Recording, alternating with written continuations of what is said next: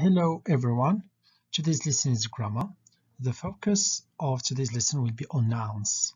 Kindly open your uh, writing coach, page 1. By the end of this lesson, you should be able to identify, use and understand nouns including concrete and abstract nouns, common and proper nouns. Before we start the lesson, I would like you to complete this table and how to complete it is as follow.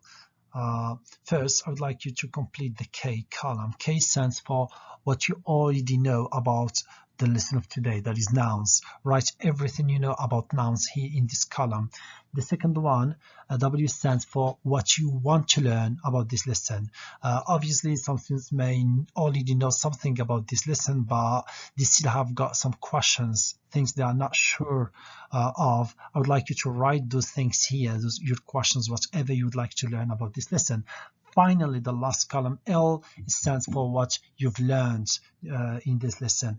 This one I ask you not to write anything in it for now until the end of the lesson. Then I, uh, I uh, ask you to complete it uh, uh with the information that you learned in this you learned in this lesson. So what is a noun a noun is the part of speech that names a person place a thing or an idea. There are different types of nouns the examples. What are those different types? First we have common and proper. I'm gonna i'm gonna go uh, couple by couple okay? Uh, so common and proper common is a, class of person place or thing proper is something more specific. A specific person specific place specific uh, thing common is more of general thing uh, and proper is more of particular thing or particular person specific. Examples. Here we have common girl. It can be any girl any city any month. But when we are talking about proper no we are talking about something in particular maria uh, Dallas December. And as you notice uh, there's another thing you can uh, use it to distinguish between common and proper. Common uh, common nouns they start with lower cases okay? Unlike proper nouns that it is a must uh, they have a capital case capital letter okay? Uh, then we have concrete and abstract nouns something you can see touch taste hear smell. Abstract something you can't perceive. You cannot see. You cannot uh, taste. You cannot hear. You cannot smell. You cannot touch. Okay? This is abstract. It's kind of the opposite of the con concrete. For example table hat pen we can see them. We can touch them. We can taste them. Uh, he uh, he uh, hear them. If we knock for example smell them.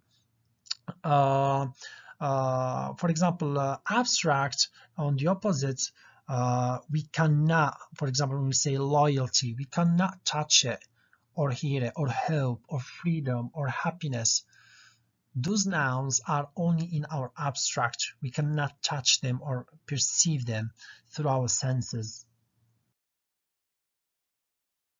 First exercise, identifying nouns. Uh, basically what we have to do in this exercise to find the nouns and underline them. Uh, we have example here, our decision was to eat dinner before the movie. And so our decision was to eat dinner before the movie. So uh, decision dinner movie are the nouns so we're gonna underline them let's do it uh, together. So uh, number one the present is on the table. Here we have uh, two nouns of course present and table. Number two please take Sally to the dentist. All right so we have Sally and we have dentist. Always you have to ask yourself this question uh, what is a noun? How can I know that this is a noun? A noun names a place a thing an idea uh, a person. So uh, uh Sally what is it it is a name of a person so it is a noun so I underline it okay Number three, my brother, so we have brother, slept through the movie. Okay. Number four, call the office after the package arrives. Number five, the weather in Chicago is cold in January. So those are the nouns in those sentences uh, and uh, to make it easier for you always ask this question uh, when you find the word the word always ask for example the is it a noun? So I think about it. Does it name a person? No. A place? No. An idea? No. Uh, a thing? No. So no it is not a is, is not a noun. Okay? You think of it like this. Okay? So from number six to ten uh, you should do it yourself The second exercise is asking us to read each sentence. Then on the line provided here, uh, we have to identify whether each underlined noun is number one, common or proper, and number two, concrete or abstract. So for example, did you give your pencil to Paul? So this noun, pencil. Number one, we have to decide, is it common or proper? I wrote pencil, then common okay comma. Uh, then I have to decide number two is it concrete or abstract? It is concrete because I can touch it see it uh, etc then we have Paul is it again the same question proper or common? It is proper. Then uh, abstract or concrete it is concrete. All right? Uh, let's do the first sentence together. Your friendship is important to me. So uh, the word is friendship. We write write it down. Then we ask ourselves is it common or proper and I already told you a trick that you can use to distinguish between the two uh, is that when it is uh, proper it should start with capital letter. So it doesn't start here. So it is common. Another thing uh, friendship is something common. It's not we're not talking about something in particular something specific. It's very general. So it is uh, common.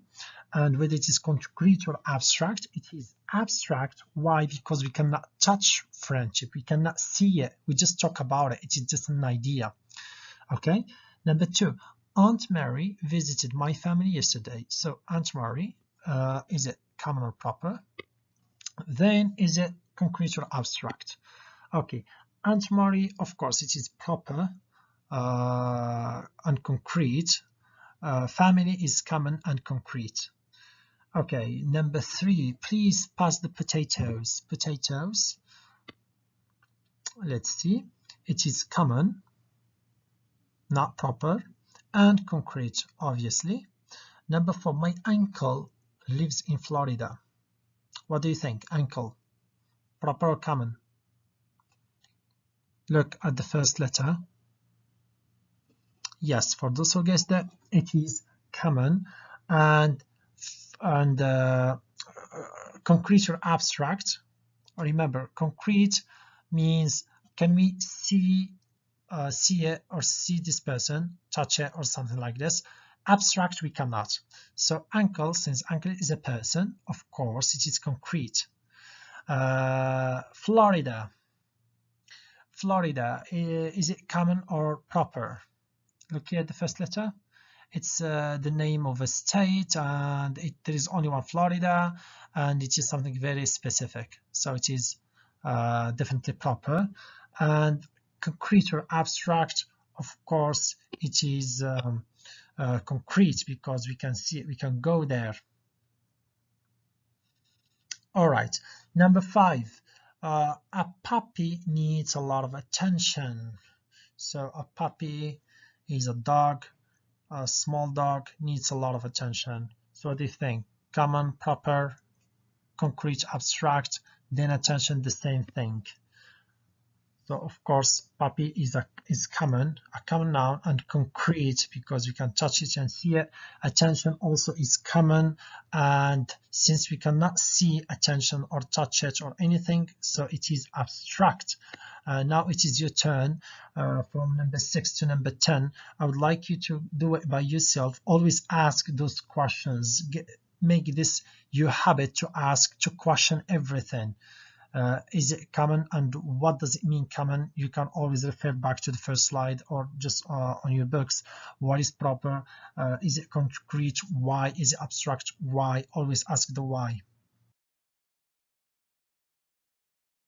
So the last task is writing and speaking application what I want you to do is to write a two sentence description of your house. I know uh, on writing coach it's written classroom but since we are not uh, in the classroom I would like you to uh, describe your house using at least six nouns. Make sure there are at least six nouns. Second uh, those nouns that you used then record yourself reading your description uh, post your video on Teams platform, your classmates should listen for and name the nouns in your sentences as they are watching your video. They have to uh, listen for and name those nouns, and then they have to write their answers in the comment box. All right. I hope you understand the, the lesson. Uh, should you have any questions, uh, please do not hesitate uh, to contact me and have a lovely day. Goodbye